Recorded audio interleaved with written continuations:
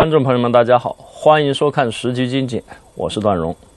啊、今天我们继续一起来学习阿尔法围棋阿老师他的自战对局。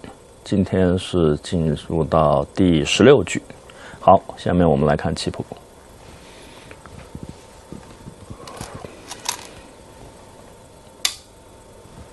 黑棋第一招呢是小目，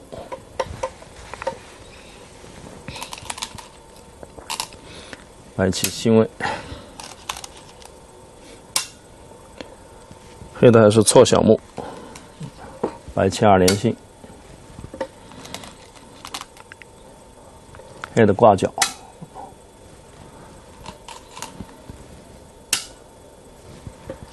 之后呢，拆在这儿。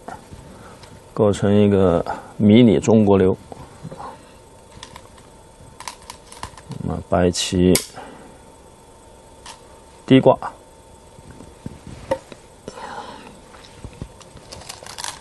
黑棋小飞。那么我们学习到第十六局，目前我们看到的对付白棋低挂呢？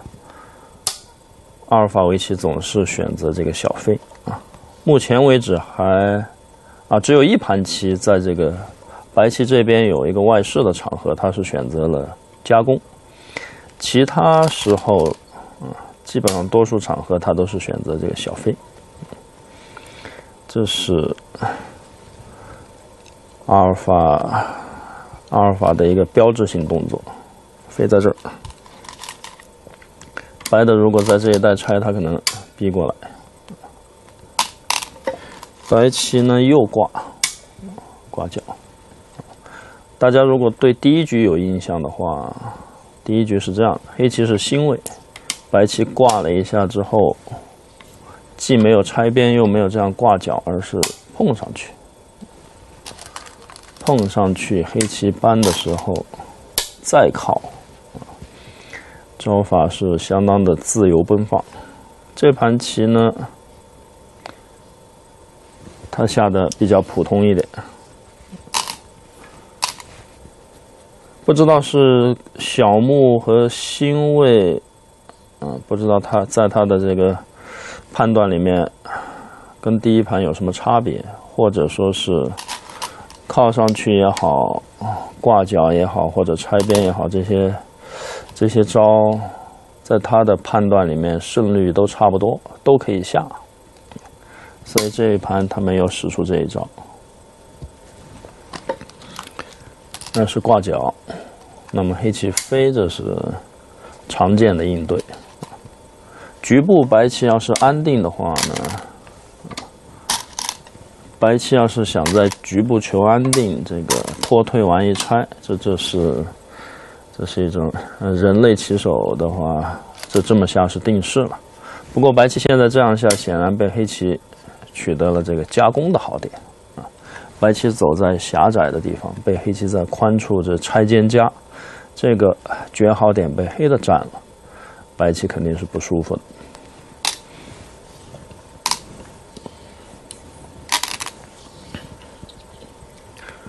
所以呢，白的。拆，拆高位而不拆低位呢？他强调下一步逼过去，在高位的时候显得有高低配合，更更舒服一些。而黑棋如果拦过来的话，白棋这先拆一下，应该是可以视作先手便宜。那么将来靠压也好，脱角也好，它都更容易走。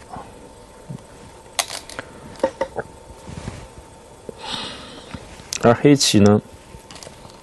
在这时候既没有攻这个子啊，没有没有进攻这个子，也没有拦过来，而是脱先了。脱先好，又使出一点三三，对付小飞挂的时候，这黑棋小飞和对付星位的点三三，这个是这是阿尔法最喜欢的下法。白棋挡这边。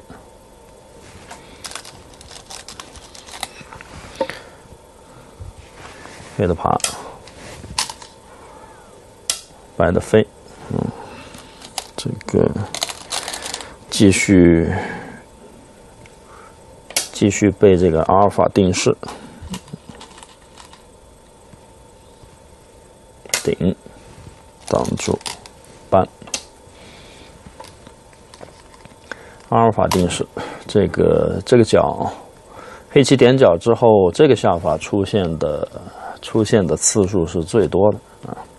在在另外某另外有一些场合呢，扳长，扳长也是在在他的自战对局里面也出现过的。那么飞。扳之后呢，白棋依然还是二路扳，黑棋挡住，白的白的连扳，白棋连扳，黑棋打吃，白的也打吃。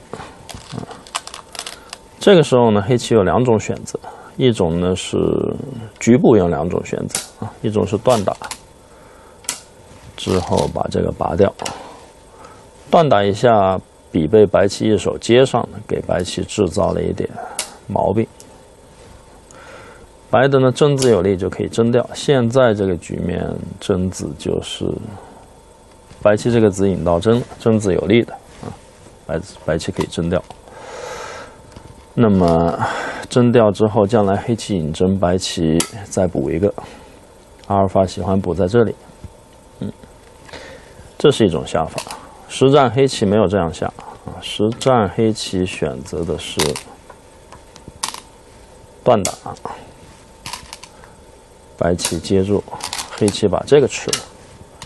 显然黑棋觉得这边还是挺大的啊，如果你这样打被白棋争掉的话。白棋这边配合不错，这个后势配合着小飞手脚这一带潜力还是很可观，所以黑的选择了吃另外一颗子，吃这边。嗯，这个也是一个很合理的选择。不过我在想，这棋白的如果白的如果真的是很重视。很重视上边的话，很重视上面白棋有没有可能断这个？那么黑的如果这样吃，白棋打下去，这就避免了黑棋吃完把吃完，黑棋先打一下吃了把那个吃掉的这个变化啊，白棋就成功的守住上边了。而黑棋如果吃这个的话呢？白棋现在甚至可以先滚包，有没有先滚包完？哎，我再尝一个。如果这样下，是否白棋也可行呢？这这也是可以考、值值得研究的一个下法啊。白棋实战是单扳下去，黑棋打吃的时候。白棋要是强调真的要围这边的话，白棋还有一个下法，也是阿尔阿尔法围棋，它在实战当中出现过。白棋吃这个，那么黑棋断打，白棋接住，黑的把这个提掉，白的爬，然后争死一个子。在特别重视这边的场合，这样下也是可以的。那么黑棋可能在这一带照过来，又攻这个子，又引针，白的补一个的话，黑棋把这个子杀干净，或者是跳起，这样想。总之，这些参考图对于我们人类来说，哪个好，究竟哪个好啊？这个是不是那么容易判断的事情？我们判断起来多多少少都可能会比较主观，嗯，那么实战阿尔法也没有选择吃这个，白棋就这么打。你要愿意吃那颗子，就让你吃。可能，可能阿尔法判断这这些变化怎么走，胜率也都差不多，也都是合理。提掉。这时候白棋有两种选择，一种是上边打，黑棋只能提。黑棋粘在被白棋提的话，那就等于这样的棋。白的提，黑的提，白棋压的时候，黑棋没有虎，而是团了一个，那白棋便宜大。所以白棋打黑棋会单提掉。那么这个子放在这里和放在这里，阿尔法选择了提掉啊。这个实实在在的目数不小，一二三四五六七八九，已经将近十目棋了，而且。被黑的提掉的话，这边还有断点、加断之类的。他判断这颗子如果放在这儿的话，可能不如放在这里实在。所以白的提，黑棋提，好，局部形成了一个这样的下法，这样的定式。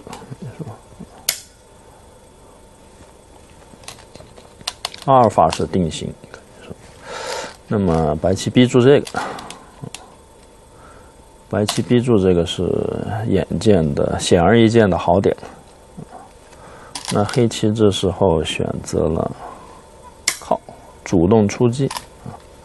黑的如果在角上走，这也是相当大的一步棋。那么可能白棋又把这边再把这边逼住，感觉白棋还蛮舒展的，棋下的。嗯，黑的主动出击，靠这个。如果白棋立的话呢，黑棋再靠一下，怎怎么看都还是便宜了啊。将来将来再在这边靠也容易容易下。白的如果搬，那么黑棋连搬。现在白的吃的话呢？这个争子是黑棋有利，黑的把这个争掉，白棋很不舒服。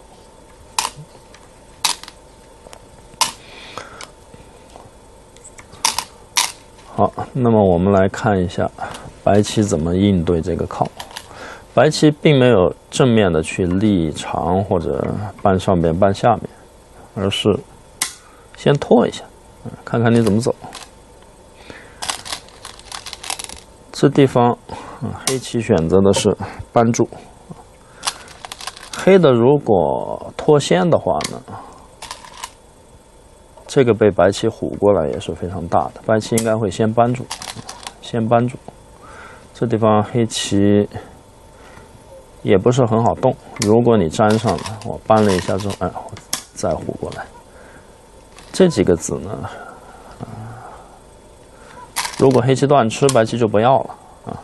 那么要想把这三个子怎怎，那他有什么太好的办法也不容易啊。白棋都还是很轻灵，又有眼位。这边虎过来，黑棋损失不小，所以黑棋还是搬，还是搬，应了一手。应了之后，白棋这里有虎先手或者扭断，种种种种味道。那么白棋搬这，假如果没有这个交换的话，黑棋是要长的。交换了一下的话，我们可以看到白棋这个虎是先手。那么黑棋长，很明显，当白棋虎的时候，这要压过来，这个黑棋就很危险了。所以拖一下再搬。嗯，这个应对的很紧凑。嗯，那么拖一个，刚才说了，拖的好处是有虎的先手啊，还有扭断的可能性。那么它不好的一面就是被黑棋吃掉的时候，它亏了啊，所以黑棋吃，黑棋吃。黑的吃，如果这个局部走，白棋要走起来呢，要么暴吃，要要下的撑一点的话，长一个啊，暴吃或者长一个，这都是正常的下法。不过白棋现在他没走，他又选择脱先了，嗯，拖拖一个非常大，这个地方白棋拖进来和被黑棋尖的差别巨大，黑棋一尖这个子就彻底的孤子，彻底的孤棋，这要当官逃命了。没有眼位，而白棋一拖呢，白棋很容易做眼，而且有有这个进攻黑棋这两个子的意味啊。黑棋现在搬白棋，不知道会不会简单的退他也许不一定退了，也许有更激烈的什么加下来之类的招法。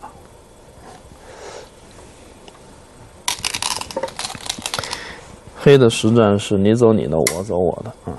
黑的把这个藏出来，不会轻易的跟着对方硬，这也是阿尔法下棋的一个特点。这个藏出来也巨大，但是我总觉得这个这个扳实在是实在是一个棘手啊！不管白棋退也好，或者想其他办法也好，黑棋这总是还是挺想搬的。这毕竟是一个双方根据地的要点，事关双方根据地的要点。黑棋是长这个，那么白棋如果跟着印一步，黑棋长也已经先手便宜了啊！他再再在角上走棋，而白的也是退，冷静的一退，这种棋形他也没有选择顶一下，而是就单退。顶可能觉得黑棋就长一个的话，白棋如果立下去，这里有飞点，将来这边一点，白棋难过。如果走这个呢，本身棋形也有点自己缩着的感觉，也不舒服，所以他冷静一退。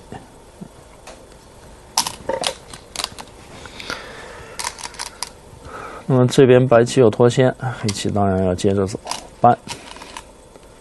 白棋连扳，连扳是紧凑的棋形啊。如果退的话，又被黑棋爬一下，这就感觉白棋形状比较松缓。黑棋先手爬了之后，又把这两个这个子给逃出去，啊，这样白棋很无趣，这块还没活呢，所以一定要扳住。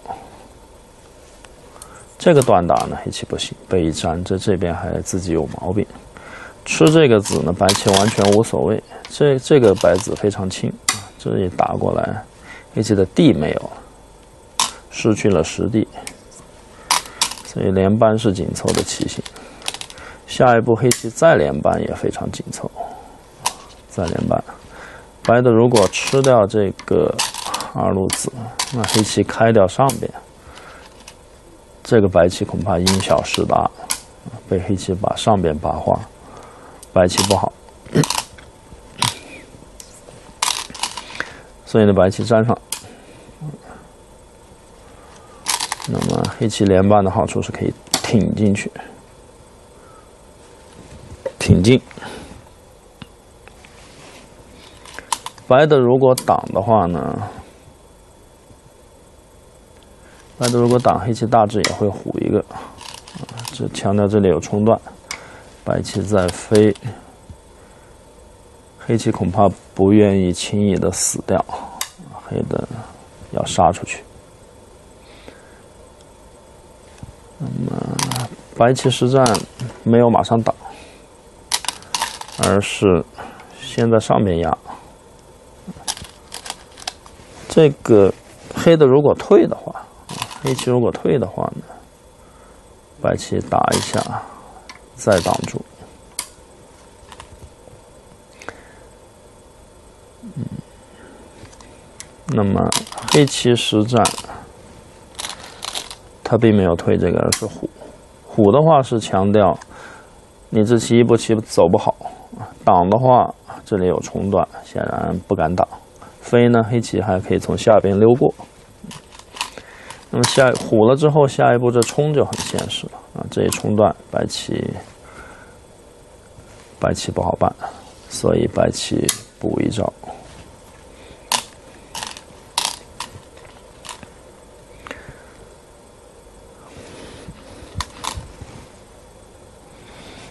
之后呢，黑的搬，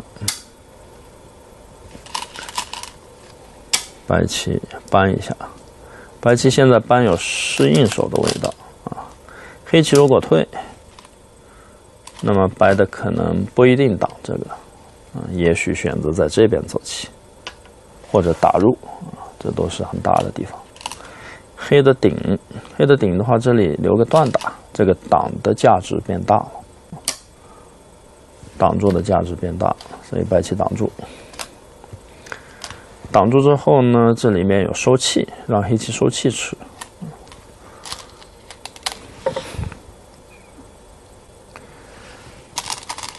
黑棋这时候下的也是相当的火爆，直接把这个给断了，直接把这个断了。他不觉得白棋这里很厚，而是要追究他棋形的弱点。白的当然打吃，这不能不能走松了啊，走松了这边一冲断麻烦了，这冲断非常厉害，所以打吃。黑的长的时候呢，白棋把这个补上。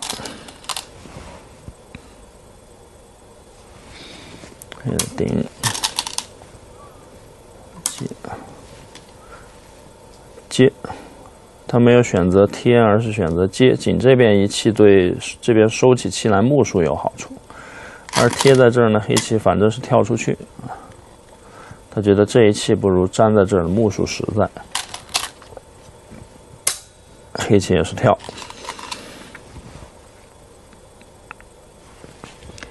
白棋飞。飞这个是要点，如果这个点白棋占了的话呢，白棋这块就棋形就比较舒服了。而黑棋一飞呢，这地方白棋总是欠着一些欠着一些毛病吧，可以说。但是呢，白棋飞了这个之后，这两个棋筋是黑棋是吃不掉。所以白的呢，打吃，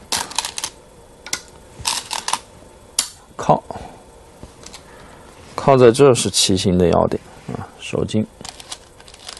黑的不能这样吃，这样吃被白棋断打啊，提的话就双打，接住的话白棋提回来，冷静做眼是对的。白的团一下，立。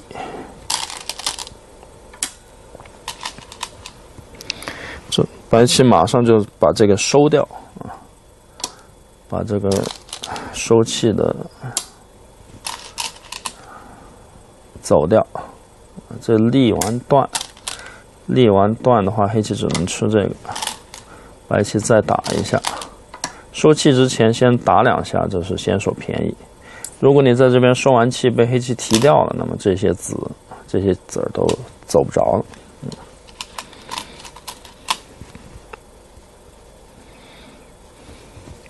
八，这个马上收掉啊！一来呢，一来是谨防黑棋逆收，这个目数也不小。逆收完了，这个往里一通冲，白棋最起码少的会减少七目棋啊。而黑棋这边也不收气了，这个也有逆逆收十目以上，逆收十目朝上的价值。而且收了还有一个好处啊。黑棋都收气吃了，必要的时候这两个子，白棋也就可以弃掉。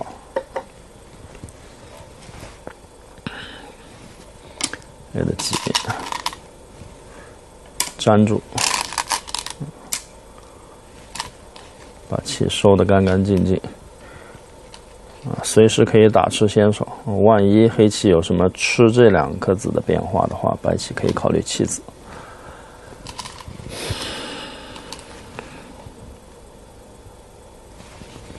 之后呢，补上，这种地方人类棋手可能不一定会这么这么早的就去定型把它收完啊，因为毕竟是很多宝贵的劫材，至少这一下可能会考虑留着。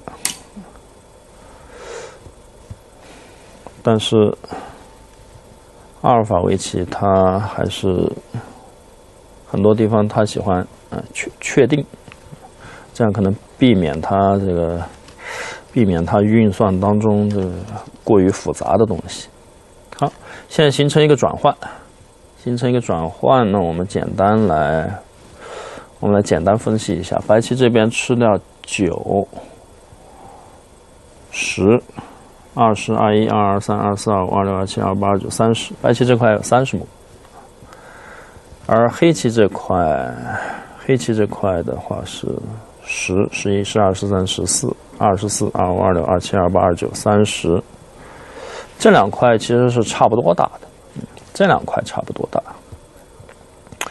那么中间黑棋这块没活，白的这块也不活，这两块，呃，如果我们粗略判断了一下，这两块这个双方都是弱棋，也算抵消的话，这个角应该比。黑棋这两个字明显占有优势啊，因为黑棋这两个字被白棋打入的话都是孤棋，都很麻烦。你即使守一步，白的先手飞，这两块的目数也是差不多的啊，所以白棋这两个字明显比黑棋这两颗字占有一定优势。那么这两边比较的话，黑棋目数多一些，黑棋有一二三四五六七八。八到九目棋，白棋只有两三目啊，但是白棋的势，白棋的势要比黑棋强一些。如果简单的这两块也算抵消，因为它也是定势嘛，也算抵消的话呢，那么现在白的这两个子跟黑棋这两个子比，白棋有明显的优势，也就是说，嗯，我觉得这棋。下到这个样子的话，是白棋形势是领先的。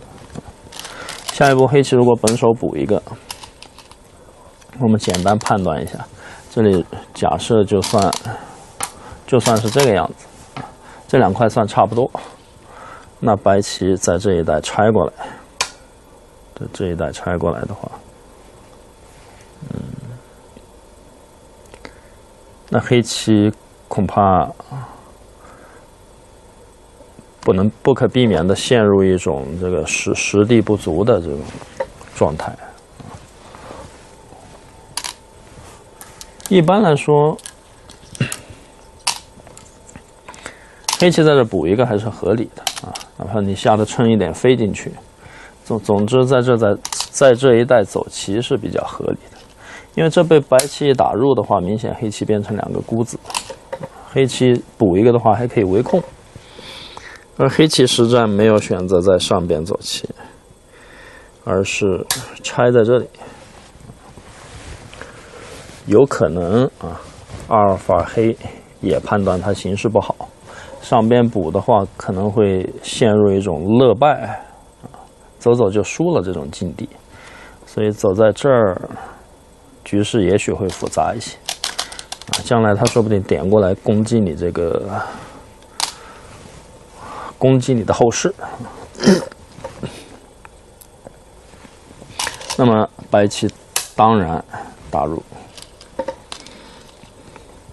黑棋跳起，上边他就不管了，自己先围一块，先围一大块。你要去吃上边，可能黑的还留有种种种味道。之后呢，黑的在这一带走过来。要要求吃白棋这中间啊，好，所以黑棋跳在这儿，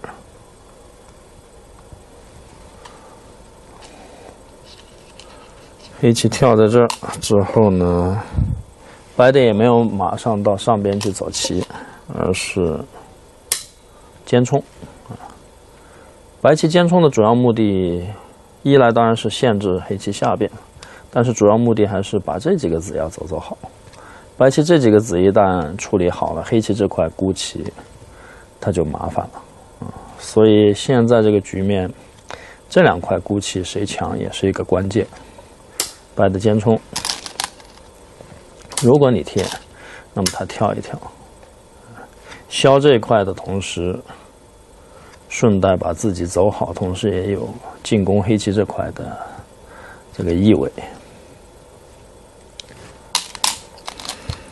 黑的飞，想走得快一点，因为贴的话，白棋跳，下一步虎过来还是好心啊。他一步飞，飞过来走得快一点啊，白棋还是跳。那白棋，白棋就不跳了，白的飞过来，飞攻，黑的当然要出逃，白棋再跳。啊，这个要点先站住，否则被黑棋跳过来，白棋要在里边走棋就难受。飞一个，自己的棋形先舒展了，然后再跳出。嗯，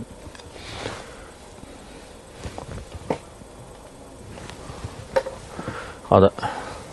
那么这期我们可以看到，在右边这一带的战斗，双方的招法还是相当精彩的啊。那么。啊，我个人判断呢，目前这个转换之后，应该是白棋形势有利，啊，很想看看阿尔法他自己是怎么判断的啊。那么下面进入到中盘战啊，中盘我们看看中盘两块棋纠缠在一起，我们看看双方是怎么来处理。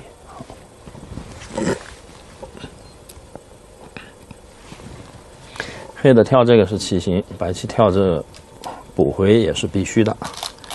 那么黑的这个跳了之后呢，产生一点一点借用，冲断，要求借用一下。让白棋拖，把这三个子吃掉。黑棋有这个挤的先，有这个团的先手，对这块眼位有点好处。嗯，刺。白的如果粘呢，这这个地方总总是还有一些问题。黑棋是比如说再刺之类的手段，残留再刺的手段。白棋冲，这棋形我们可以看到，白棋冲是先手，那么也就是说白棋还是不太愿意粘在这里的，最起码它能双在这儿。而白棋下的呢更激烈，冲完直接就把黑棋给断了。黑的打吃，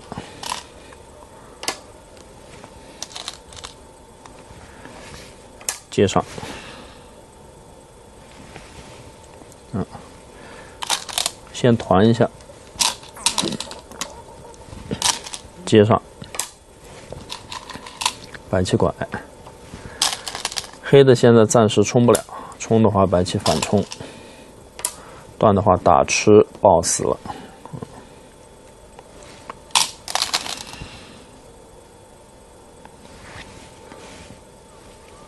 也就是说，这个断白棋现在暂时是补上了，而且他把黑棋断开了，这边还要飞下来反杀黑棋，这个下的相当的凶悍，非常紧凑。黑的呢加，加在这里，白棋就要吃，黑的拐吃。好，拐吃的时候呢，白棋要注意，黑棋有这个拐的话，这里冲断，要断开白棋，所以呢，白棋双，把这断点补上。黑的提一个子呢，提一个子意义不大，白棋冲这个，接上。黑的如果挡住白棋就吃掉活了，黑的如果要接上这个，白的这一冲黑棋受不了，这一冲抵挡不住，所以这个提没有意义。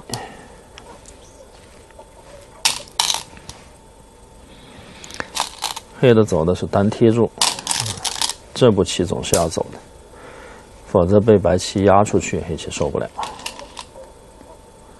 单贴住，嗯。白的这时候是提，另外一种选择呢是粘上，粘也有粘的好处。粘的好处的话，它显然就是这里多个冲断，这里有冲断。而它的坏处呢是下边的目数亏损，黑棋挡住之后，黑棋是先打好，先打，然后挡住之后，这个黑棋从这里挡或者从这里立，这目白棋得去做眼，这目数亏。而白棋提在这儿呢，黑棋粘也是先手，白棋团在这里。黑棋挡也好，立也好啊，外边粘也好，各种的都是后手啊。黑的挡在这儿也一样。黑棋下一步走什么都是后手，从目数上来说是提掉好。白棋提示强调目数，他并没有去粘这个。那么黑棋挡，白棋做活，这个飞下来依然还是非常严厉。黑的受不了这一飞，要补一个。黑的补一个之后呢，我们可以看到，从这个黑棋拆开始，黑棋的成果是这里增长了，增长了十多目棋，增长了十多目棋。但是白棋的收获是，白棋这里打入，啊，已经已经走到一手棋了。之后呢，现在该轮到白棋攻过来。毫无疑问，白方是很主动，这棋白棋相当主动。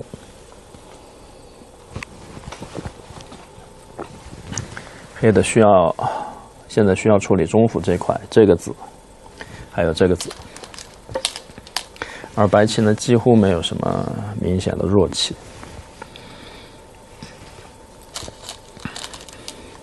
黑的。靠，白棋呢，其实很想很想扳断黑棋，把那个子给断开。不过白的下的很稳，长一个，黑棋再贴，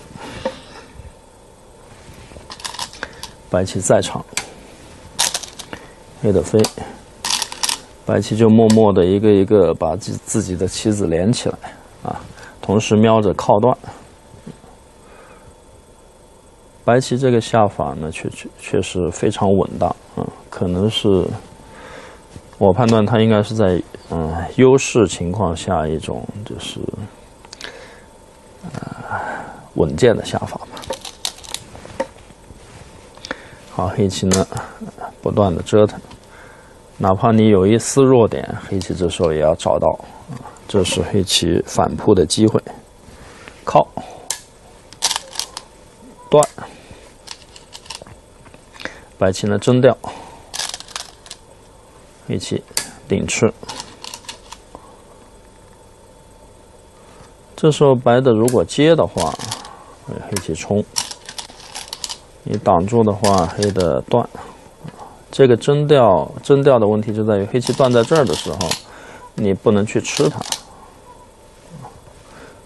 不是说不能去吃，就说你吃它的话，黑的一跑，你这就争不掉啊。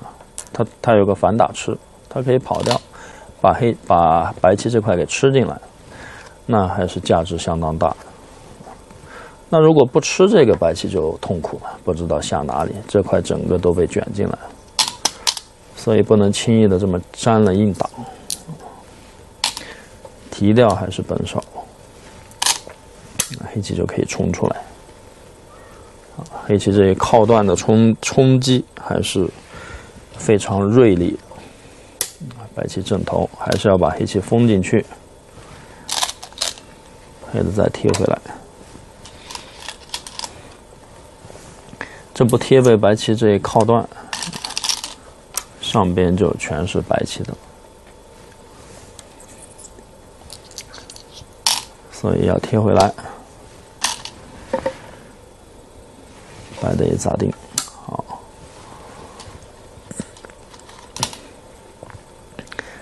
现在依然是黑棋困难的局面啊！白棋这一砸定，脚上已经十几目了。按照我们刚才的判断的话，假设算这十几目跟这十几目抵，简单看算抵消的话呢，黑棋的问题是这个子还没处理好呢。而且黑棋的天目也也是也是很成问题。顶完搬出去，靠，靠的意图是黑的如果冲，我就粘上先手，这一段要断死黑棋。黑的如果补一手，那么我再把这个断了。白棋接成一根棍子，它这个更厚了。将来万一黑棋长了之后形成什么杀气之类的话，白棋这一根棍子气很长。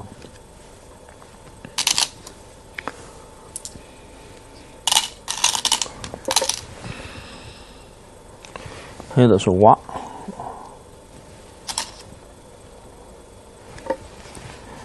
之后白棋没没有硬断，嗯，算了，飞在这儿。白棋要是能把那个子吃掉的话，也是已经足够了。跳，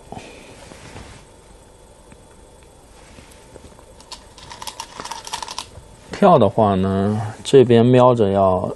动出，这里瞄着白棋这块棋没活，白棋这块确实没有明显的、明显的两个眼是没有的啊。白棋现在开始做眼，顶一个，现在黑棋吃这两个子都无所谓了啊，白棋都可以给，那么搬下来，这白的就活了。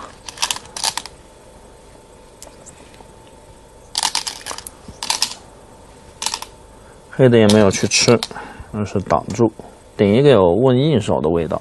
你如果退的话，白棋将来在这里有一个眼，顶住它有有一只眼。如果挡呢，这地方是局部做不出眼来的。走这个的话，黑棋打完打吃。所以白棋问一下应手，哎，你退我就先手便宜了，得到一个啊眼位。你如果挡的话，白的刺。刺进来，嗯，这时候你不能走下边，走下边，上边这两个子被割了的话，白棋就留着活棋了。但是黑棋接住，黑棋接住呢，白棋啊最低限度，我这一冲，这地方是有眼的，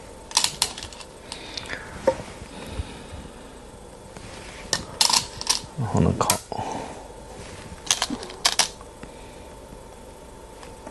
黑的再往前走呢，这个断点始终是一个问题，而且杀白棋这块棋也不可能，所以黑的接回来，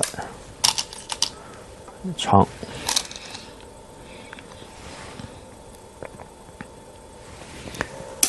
飞，还是要断开白棋，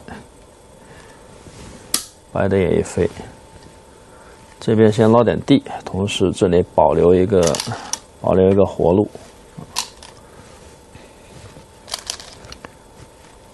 冲出来，这当然要扳住，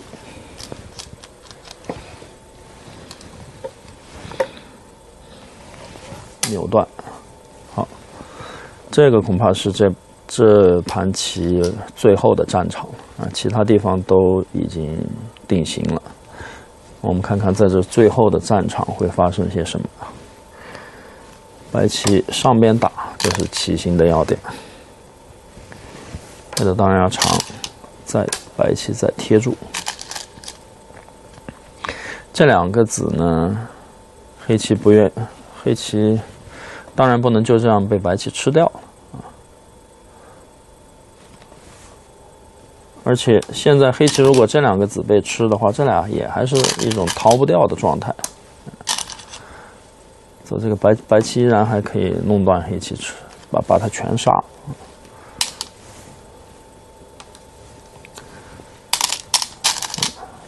长，接住，打吃，完了，冲过来，黑棋把自己外边两个线连回来，连回来之后呢，白棋一挡，如果白棋能吃住这两个，那当然。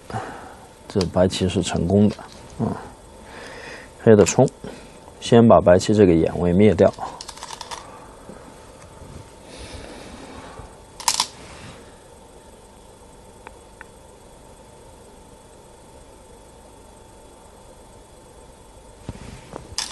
灭掉这个眼之后，黑棋下一步准备飞过来。如果被黑棋飞过来，这块是看不出明显的两个眼在哪里啊，所以白棋也要小心。白的如果这么补呢，对黑棋没有压力啊，它是抠吃。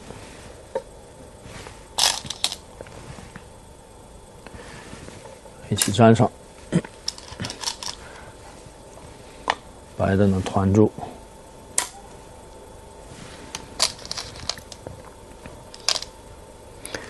黑的扳一下，白的挡。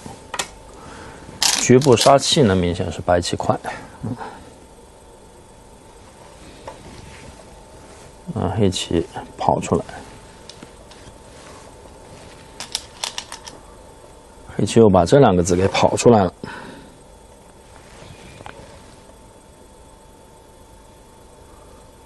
跑出来，白棋如果是要，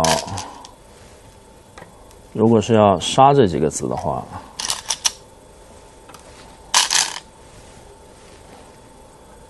啊，这样黑棋有打完虎过来杀白棋这块的可能性，所以白棋要先打，然后再站在这儿。那么这边被黑棋打吃过去，拐下去的话呢，这这棋也挺乱的啊，说不清楚。这这边还有靠出来的这一类的问题，这个白棋恐怕也没有把握。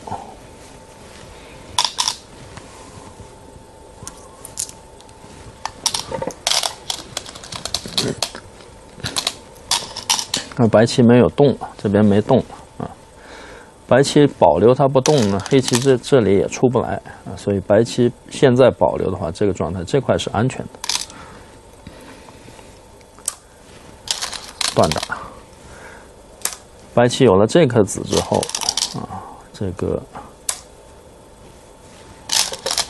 挤断黑棋的手段又出现了。啊，黑棋团打，先把白的这三个子吃尽，下一步飞断的话，他要杀你这块，杀大龙了。白的冲一下。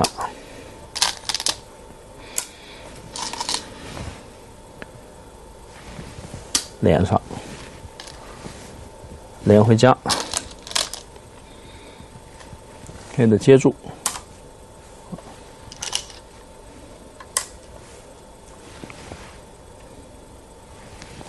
接住是因为他已经预见到后面这个手段，先把白棋的气铺紧，之后呢一路连扳，一路连扳是好棋啊。这棋如果粘上跟白棋杀气呢？白棋站到这个扳的要点，黑棋明显是气不够的，黑的气不够。但一路连扳，你这个扳不到这儿啊，白棋只能断打。那么黑棋一路打吃，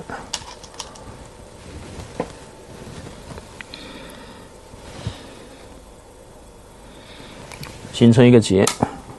白棋提劫，扑，这是绝对的劫财，提回去。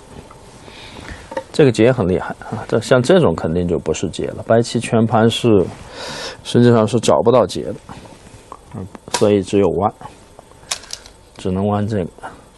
而黑的如果还要硬挡的话呢，白棋提劫。黑棋下一个劫财应该是只能找这里了。这里是不是劫财，其实都很成问题啊。白白棋就消掉之后，你提三个，我就简单顶一个，这也没什么。所以黑的也找不到什么合适的劫财。当白棋弯的时候，黑棋挡不下来了，踢掉。那么拐白棋拐，好。吃掉这四个子，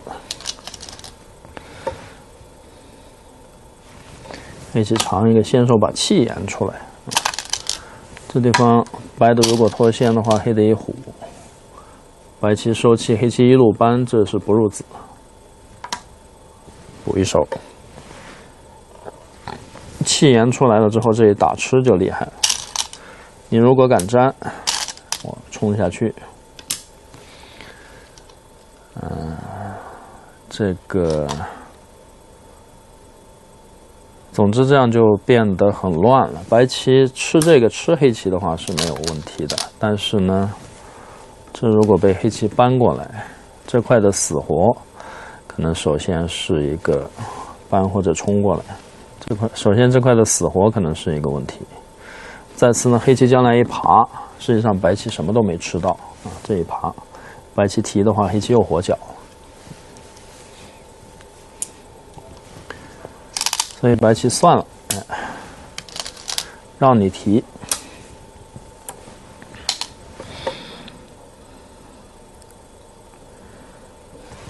让你提，毕竟我吃到这一块。而且呢，这块也安心的连回来了。白棋判断这样形势还是不错的，就够了。打吃一下，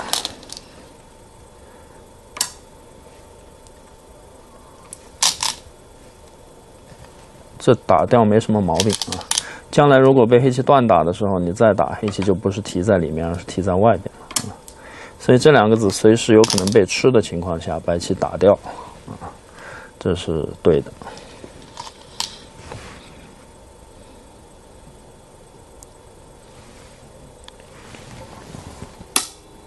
然后把这个守住。好，那么这个守住之后呢，基本上一场大战也是就就此告一段落。白棋的收获呢是这边吃住了，比我们刚才判断的三十目，白棋显然增加了有最起码最起码增加十八九目，将近二十目，这个还是提子，增加将近二十目。而这个角守住的话，白棋是十一、十二、十三、四十五，这个角也有十五目棋，嗯。而黑棋在这边呢，也是增加了将近二十目，这这中间还吃到白棋一些残子，一二三四五六七八，吃吃到个十目棋左右。总的来说呢，应该是判断黑棋还是有战果的啊，因为。当初被打入的时候，黑棋中府这个子和这个子三块，三块都是那么薄的棋，现在处理完了之后，仅仅是损失了这个，中间还吃回来不少。这个应该黑黑棋抢这一手，到目前来看，黑棋抢的还是挺成功的。当然也不排除白棋就是说是为了控制局面啊。这个有有所退让，有这种可能性。白棋小尖，黑棋呢点刺，这地方一路冲过来，这有断点。白棋当然不肯轻易粘上，反靠，黑棋反夹，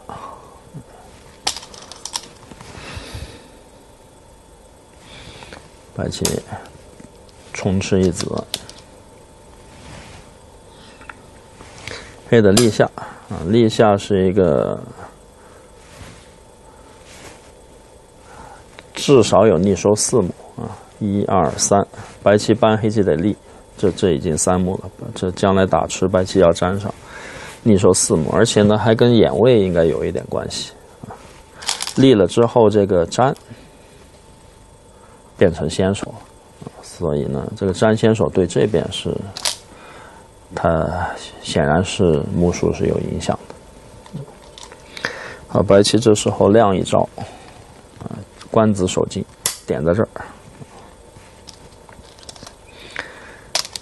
点这个。如果搬的话呢，黑棋这时候应该是跳在这儿是最佳应对，跳在这里，目数是守的最牢的。将来白棋把这个冲掉，这两个冲掉之后，黑棋要补在这里。这地方黑棋有五目棋，一二三四五，而白棋点在这儿，我们看一下，黑棋拿不住这个子，走这个当然明显被冲了，这里被扳过，弯的话，白的扳。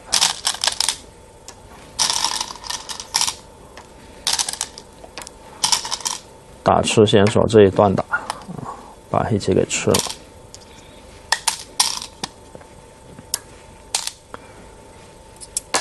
所以黑棋顶，白棋扳过，粘上，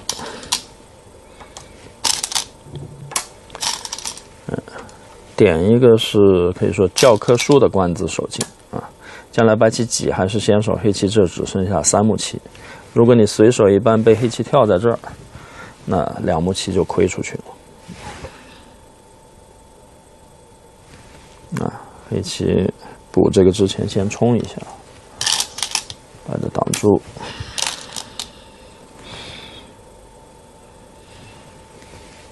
没有马上补，而是打吃，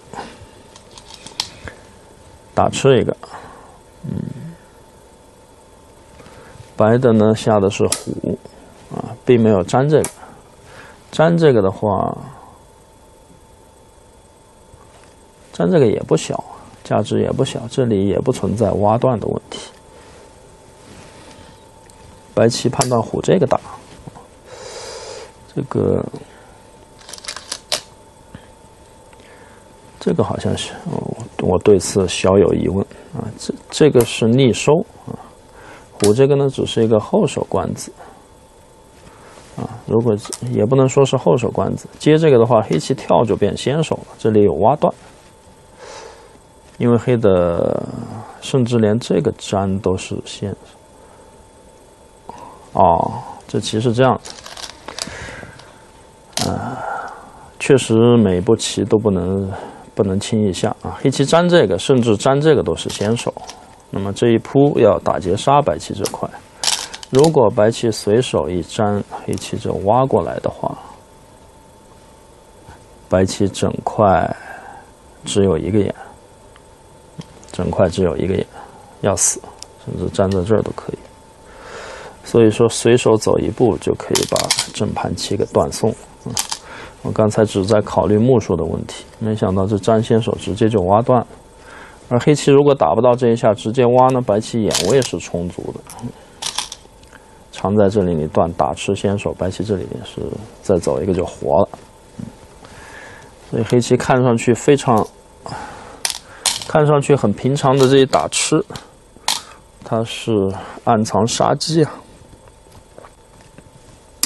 不能随便下。白棋虎在这儿，把这个挖断给补掉了，这个提。白的记住，都能连上。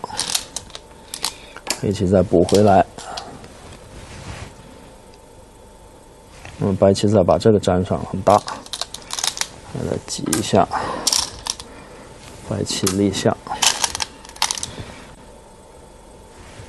大吃，连住，再挡这个，挡这个并不是现在。现在全盘最大的官子啊，当然白棋冲完了打吃。啊，这这个地方对不起，这个地方没有白子啊，这个地方没没有子，冲完之后打吃。之后黑棋虎一下。白棋把这个断点补上，好，走到这儿呢，黑棋是投子认输了。嗯，这个在右边的战斗是非常的精彩激烈啊。好，那么这盘就为大家讲解到这儿，谢谢您的收看，我们下次再见。